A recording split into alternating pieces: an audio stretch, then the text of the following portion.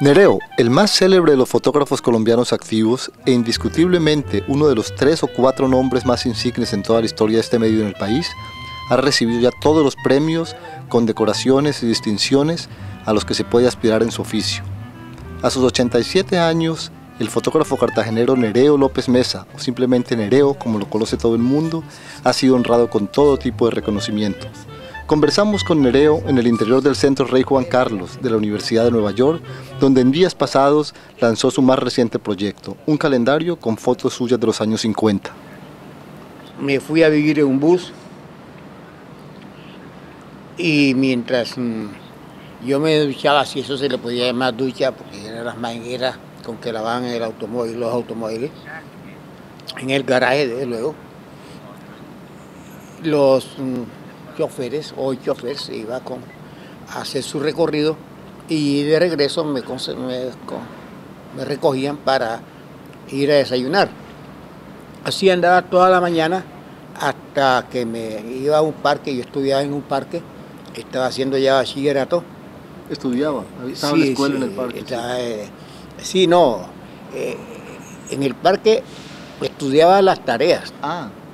Mientras entraba al recinto de, la escuela, del colegio. Y a las 5 o 6 de la tarde me recogían nuevamente y ahí sí deambulaba hasta las 11 de la noche en el bus para arriba y para abajo. Y sobra decir que tenía mi puesto especial al lado del chofer, porque ahí nadie, nadie se sentaba.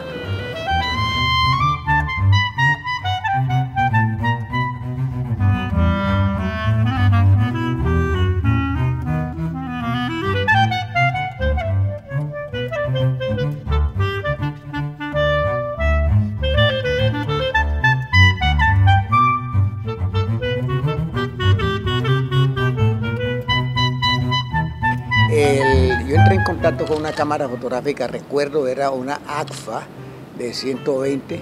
En esa época tener una cámara fue y era pues, un estatus. Y un amigo iba para Panamá y me dice, no puedo viajar con una cámara porque no lo permiten ir en avión con una cámara fotográfica. Era la Segunda Guerra Mundial. Me la dio a guardar. Y la guardé como a los seis o siete meses se me dio por usarla, por probarla, me salieron una foto mala a un amigo que Jimmy Coppels se llamaba el hombre, dueño de la, de la empresa, del almacén, y me dice, mira, coge este libro, cómo hacer buena fotografía. Y un peso me costó en esa época. Y de ahí agarró la afición. Y, y, la afición mía era no solamente esa, sino que compré ese libro y fui comprando y comprando y comprando. Cuando ya fui un profesional, yo llegué a tener 1.200 libros de fotografía. Sí. Que se los, se los regalé el año pasado a la Biblioteca Nacional. Con toda su experiencia a cuestas, le preguntamos al maestro Nereo cuál es la cualidad primordial que debe tener un buen fotógrafo. No sé, yo no sabría decirte, yo creo que hay un poquito de es intuitiva que es el, de observación. Yo soy un buen observador y tal vez con la fotografía se me desarrolla mucho más.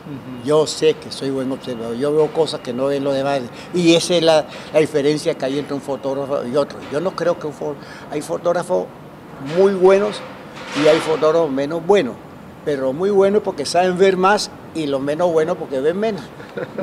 Pero el equipo es la misma, las películas son las mismas, ahora pues las cámaras digitales pues son las mismas, unas con más capacidad que otras como, como las películas convencionales o las, las cámaras convencionales, pero desde el punto de vista pues fotográfico es la misma cosa, se cambian las herramientas.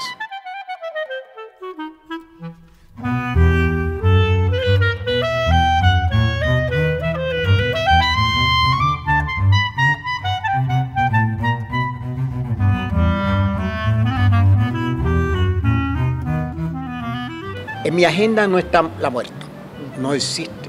Yo todavía tengo proyectos que inclusive me dicen, pero que tú nunca te vas a morir. Y tengo proyectos a largo plazo.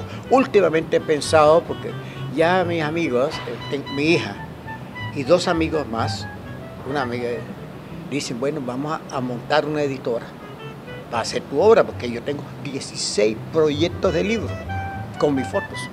16 proyectos están A sus 87 años, Nereo sigue experimentando con nuevas técnicas y nuevos temas, buscando el alma en las imágenes que capta cotidianamente en Nueva York y en otras partes del mundo.